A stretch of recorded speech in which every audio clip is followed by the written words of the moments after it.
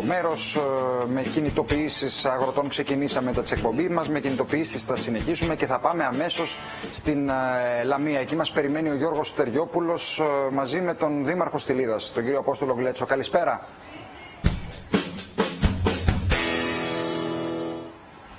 Καλησπέρα, Μάρη, μας ακούτε. Καλησπέρα, καλησπέρα. Πολύ, Τώρα πολύ σε ακούμε, καλησπέρα βεβαίως. σας. Εφόσον, εφόσον, εφόσον μας ακούτε δεν έχω τίποτα άλλο να σας πω, δεν χρειάζεται να σας συστήσω τον καλεσμένο μας εδώ έτσι, τον Δήμαρχο Στυλίδας, ο οποίος σήμερα ε, κατέβηκε πάνω στο τρακτέρ όπως είδατε και κατέβασε τους αγρότες της Ανατολικής Χθιότητας στο λιμάνι της Θηλίδας στα φανάρια και έκλεισαν και πέντε λεπτά συμβολικά το δρόμο. Πριν σας δώσω τον ε, Απόστολο του Γκλέτσο να μιλήσετε εσείς, να σας πω ότι στην υπόλοιπη Χθιότητα ε, έχουμε τουλάχιστον 400 τρακτέρ στο μπλόκο της Ανθήλης που σημαίνει ότι εάν θα βγουν θα κλείσουν το δρόμο στην περιοχή της Αλαμάνας. Μάλιστα. Ακολουθούν ακριβώς τα ίδια πράγματα και οι αγρότες στην περιοχή του Δομοκού στο γνωστό ε, πάρκινγκ εκεί κοντά στο πρατήριο του Δρούγου άλλο ένα μπλόκο. Έχουμε μεγάλο μπλόκο στη Στερεά Ελλάδα στο κάστρο που ετοιμάζεται και στην διασταύρωση της ε, Λιβαδιάς με τον ερχομενό στον Αγιάννη επίσης μεγάλο μπλόκο και εκεί. Ε, Μάρη, Όλγα, ο λόγος εσάς, Απόστολος Γκλέτσος. Καταρχήν, παιδιά, θέλω να σας, να σας πω καλωστέριοτη, να σας συγχαρώ. Είσαστε δύο νέα παιδιά. Σας βλέπουμε, σας θαυμάζουμε. Συγχαρητήρια, πάτε μπροστά. Ευχαριστούμε, Ευχαριστούμε. ευχαριστούμε πολύ. Ευχαριστούμε πάρα πολύ πολύ. για τα καλά λόγια. Τώρα, εσείς κύριε Γκλέτσο, για να έρθουμε στα της ημέρας ή των ημερών μάλλον, ε, μπήκατε δυναμικά και ως Δήμαρχος ε, στην μάχη αυτή των ε, αγροτών ενάντια στα φορολογικά και στο ασφαλιστικό. Πείτε μας ακριβώς τι έγινε σήμερα στην ε, Και στην όχι Λίδα. μόνο των αγροτών. Να σου πω, Μάρια, και όχι μόνο των αγροτών. Ε, πρέπει να κατέβουμε όλοι οι Έλληνες κάτω στο δρόμο, να, να, να, να πυκνώσουμε τις τάξεις ε, είτε στα μπλόκα τα αγροτικά, είτε στις πλατείες, είτε στους δρόμους, άπαντες. Γιατί; Για να ε, δυναμώσει το διαπραγματευτικό χαρτί της κυβέρνησης στις Βρυξέλλες και όπου αλλού. Όπου πάει ο Τσακαλώτος, όπου πάει ο Τσίπρας, όπου πάει ο Κατρούγκαλος, να ξέρει ότι από πίσω, από πίσω είναι μια Ελλάδα στο πόδι. Να ξέρουν ότι σηκωθήκαμε από τους καναπέδες. Δεν είμαστε οι Μαλθακοί, οι Μαλθακοί Έλληνες που δεχόμαστε τα πάντα όπως, όπως μας τα σερβίρουν.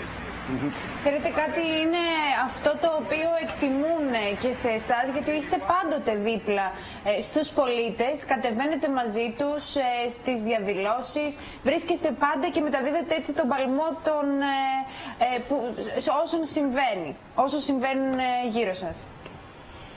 Και σας το Ναι, δείχνουν αυτό έμπρακτα. κάνουμε γιατί Ναι, αυτό κάνουμε διότι ε, πραγματικά κάτι πρέπει να γίνει. Α, ε, σήμερα άκουσα και διάβασα ότι τα Ελληνόπουλα είναι τα πιο παχύσαρκα παιδιά στην Ευρώπη. Ε, ήταν για μένα ε, μεγάλη στεναχώρια.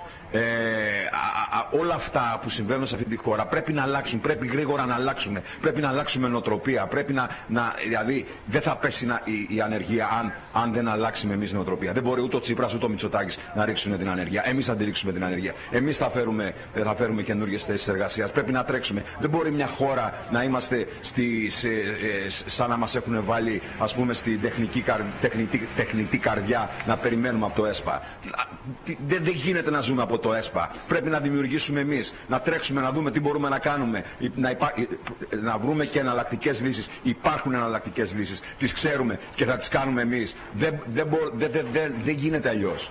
Πρέπει να γρηγορείτε. Δήμαρχε, Έλληνες. Δήμαρχε ε, Ναι. τώρα ε, βρισκόμαστε εδώ και μια εξαετία περίπου ε, στη δίνη της οικονομικής Μπράβο, κρίσης και έχουμε όλοι λίγο πολύ μια εικόνα του πώς συμπεριφέρονται οι Ευρωπαίοι Μαρία, δανειστές πάμε λίγο, μας, Μαρία. πώς συμπεριφέρεται Μαρία, η- κα- Άστο, εντάξει, άστο. Μάρη, κάτσε λίγο να φτιάξω τη- την επιστροφή στο, στον Αποστόλη γιατί Ναι, ε, ναι. δεν θα σε ακούει καθόλου να ρωτάς. Ζωντανό είναι αυτό, ξέρουμε όλοι Ναι. από τηλεόραση.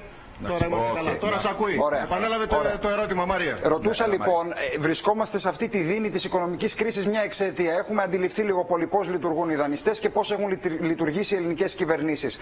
Χθες ο Γιάννης Βαρουφάκης σε μια συνέντευξή του είπε ότι η Τρόικα δεν ήθελε συμφωνία. Εσείς μας λέγατε νωρίτερα ότι δεν κάνετε αντιπολίτευση, ότι θέλετε να ενισχύσετε το, το διαπραγματευτικό χαρτί της κυβέρνησης. Ναι. Εκτιμάτε πραγματικά ότι μπορεί οι Ευρωπαίοι να υποχωρήσουν αν δουν ένα μαζικό κίνημα να αντιδρά; Έτσι πιστεύω. Απ' την άλλη όμως θέλω να είμαι σίγουρος ότι όλο το πολιτικό σύστημα, όλο το πολιτικό σύστημα, όχι η κυβέρνηση, έχει plan B. Όταν λέμε plan B, εκτός, Ευρω... εκτός Ευρωζώνης.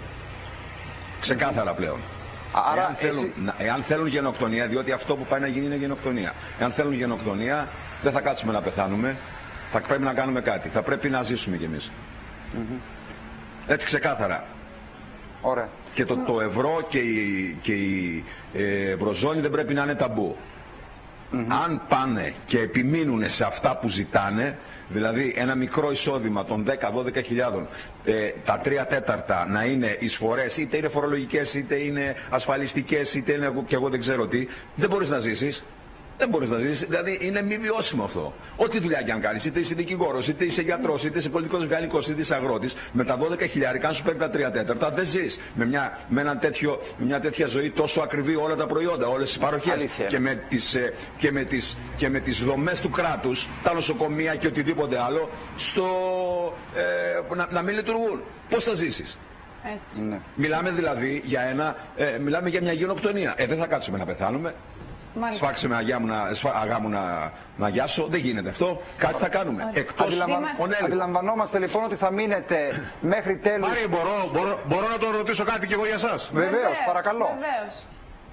Το παρουφάκι τον άκουσες χτες. Τον άκουσα.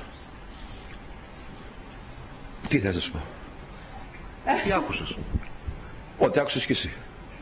Την άποψή άρεσε το σας κόψιμο. θέλουμε. Θέλουμε την άποψή Κοιτάξτε, ε, ε, σα. εγώ την, την, την, την, άποψη, την άποψή μου την έχω εκδηλώσει με το ότι πήγα και το έκανα μήνυση και, το, και του ζητάω να, να πάει μπροστά στη, στη- στην ελληνική δικαιοσύνη και να, και να δικαστεί. Από εκεί και πέρα τι να σας πω.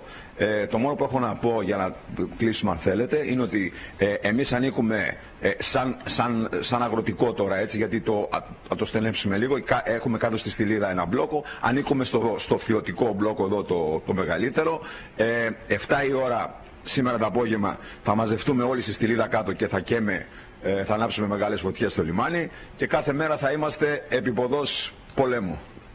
Ειρηνικού πολέμου. Φωτιές, Παρόν. φωτιές, στο, φωτιές στο λιμάνι της Τιλίδας για το βαρουφάκι δεν ήθελε να σχολιάσει. Μένει στη μήνυση, Μάριε.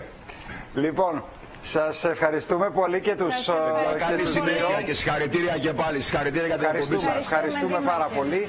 Ε, Γιώργο Στεριόπουλε, ευχαριστούμε και σένα για το ρεπορτάζ.